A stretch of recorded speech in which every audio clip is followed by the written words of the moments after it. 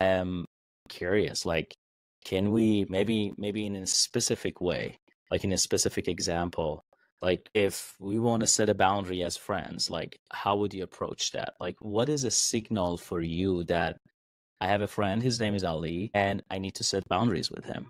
What are the signals that you see? And how do you come up with ideas of how to set boundaries? And how do you share that with Ali or the rest of the friends that you may have that may impact may be impacted in that relationship? Yeah. With the boundary piece, I think at least for me, it's usually my body telling me that I need to set boundaries with this person. So you, for example, maybe get a text and you notice it doesn't sit well with you. Like something just feels like this is feels hard or it doesn't feel easy. It feels like or it's like do you want to go to the movies? Do you want to do this? And it's like this is the friend if i don't go to this movie with them and i've canceled on the last two plans they're going to be really upset but i'm just so tired and i want to stay home right like but then you feel this guilt it's usually surrounded if you notice you have feelings about guilt or shame or this feeling that is just it doesn't sit it's just not sitting well and that's usually an indication that i need to set a boundary with someone and if it's not guilt or shame maybe it's this sense of judgment from that person in a way that's negative. And so usually that's the indication I get that I'm like, okay, I need to set a boundary.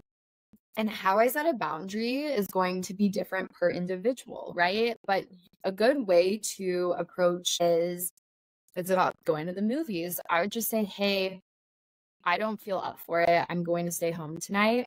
You the biggest thing I can tell the audience here is you don't need to explain yourself. Don't need to explain yourself. We are so good at like I calling in like I'm sick because I have XYZ da da da da da. No, you don't need to do that. You just are simple and just like I don't want to go to the movies. I'm not feeling up for it.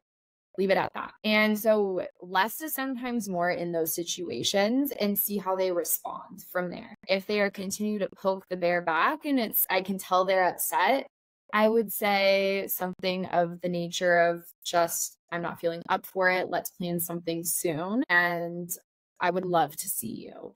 And so still showing that you care and value the relationship, but just setting the boundary. You're not feeling up for it. And those who continue to push back, that is where I would say is that this person is making me uncomfortable at this point. They're not getting the boundary. And that's where I would maybe tone it back on the relationship. You don't necessarily need to, uh, it depends on the dynamic. If it's a close friend or if it's more of an acquaintance, how you would want to move through that. Cause you could either, you know, get to the point where maybe you, you slowly weed this person out. You don't really hang out with them at the same level you once did. Or if it is someone you're close to and you feel like you need to have that conversation, then you can have a very direct conversation we don't need to be around the bush. And as people pleasers, we love to beat around the bush. We want to make sure we're pleasing everyone, but we don't need to do that. Thank you for walking us through that example.